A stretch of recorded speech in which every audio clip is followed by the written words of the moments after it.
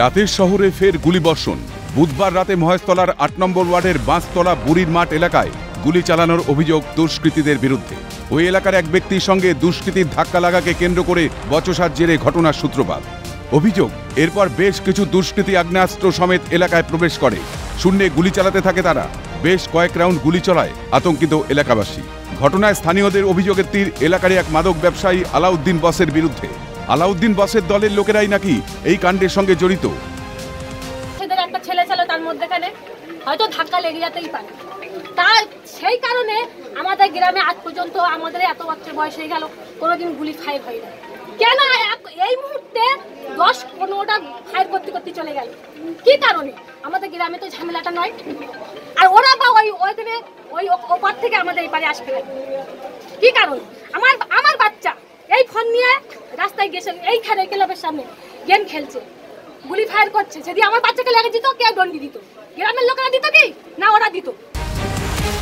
এখানেই প্রশ্ন উঠছে, কে এই আলাউদ্দিন, যার এত স্থানীয় সূত্রে খবর, আলাউদ্দিন বস ওই এলাকায় দীর্ঘদিন ধরে বেআইনি মাদক ব্যবসার সঙ্গে যুক্ত। জুয়ার ঠেকো চালায় সে। আলাউদ্দিনের বিরুদ্ধে একাধিকবার মহেশতলা থানা ও রবীন্দ্রনগর থানায় অভিযোগ জানানো হলেও কোনো পদক্ষেপ নেয়নি পুলিশ। সেই ঘটনাটা ঘটেছে এখান থেকে তোমার হারমাত বাহিনী যারা তোমার ওই কস্তুরি দাসের এলাকার ওই এলাকায় তোমার থাকে। ওরা তোমার ঠেক চালু করেছে। পাতা তোমার পাতা আছে গেঁজা আছে আমাদের এলাকার ছেলেরা বরবাদ হচ্ছে। এবারে মহেশতলা থানা জানে রবীন্দ্রনগর থানা জানে। তার সঙ্গে কোনো অ্যাকশন নিচ্ছে না। এর এলাকার ভেতরে লোক ঢুকে গিয়ে ওদের ওদের লোক ঢুকে গিয়ে দশ রাউন্ড গুলি গুলি ফায়ার করেছে। আমরা সাধারণ লোক কোথায় যাব? এরপরে এর প্রতিবাদ নিচ্ছে না কোনো পুলিশ। তো আমরা যার কারণে আমাদের কানকুল হাই স্কুল ওইখানে আমরা পতাকাবাদ করেছি।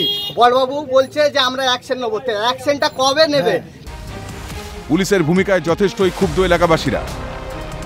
মহেশতলার আন্ডারে ওখানে তো দুলাল দাস আছে। ওনারা তো ওনাদের এলাকায় তো ওইটা চলছে। তো ওনারা যদি না অ্যাকশন না এই যে আমরা কদম নিয়েছি যদি এইভাবে যদি না নিতে পারি স্টেপ যদি না নেই তো আগামীতে আমাদের আরও এলাকা আছে সেই এলাকাগুলোকে ওরা হে করবে চমকাবে। কেন আমরা কি সাধারণ লোক আমাদের কি একটা কোনো হে নেই যে আমাদের এলাকায় কেন ঢুকে এইসব করে করবে? তাহলে পুলিশ তাহলে কি করতে আছে? হ্যাঁ। বুঝতে পেরেছে পুলিশ পুলিশ যেটা দিচ্ছে যে আমাদের নিরাপত্তার নাকি পুলিশ কি করতে আছে খালি পুলিশ বলছে অ্যাকশন অ্যাকশন নেব। অ্যাকশন নেব নেব করে তো দুটো থানায় জানে তো। মহেশতলাও জানে রবীন্দ্রনগর জানে। কিছুদিন আগে তো ওই ওই এলাকার লোক ওই যে বসরা তোমার গ্রেফতার হয়েছিল। কই ক- কোনো কিছু স্টেপ নিচ্ছে না। এদিকে ঘটনার পরে দুষ্কৃতীদের শাস্তির দাবিতে সন্তোষপুর রোড অবরোধ করে বিক্ষোভ দেখায় স্থানীয়রা। রাস্তায় পাইপ ও ইট ফেলে পথ অবরোধ করেন তারা। এরপর খবর পেয়ে পুলিশ ঘটনাস্থলে পৌঁছে অবরোধ তুলে দেওয়ার চেষ্টা করতেই পুলিশকে ঘিরেই পাল্টা বিক্ষোভ দেখান স্থানীয়রা। মদ গাঁজা বিক্রি করতো। এখন পাত্তা হিরোইন চরস সব চলছে ওখানে। বাইরের বাইরের লেডিসরাও ওখানে এসে খাচ্ছে। এখানে পুলিশ জানে না? পুলিশ জেনেও কিছু অ্যাকশন নিচ্ছে না। এই জন্য আমরা পদ অবরোধে নেমেছি। যদি বলেছে আমরা অ্যাকশন নেব।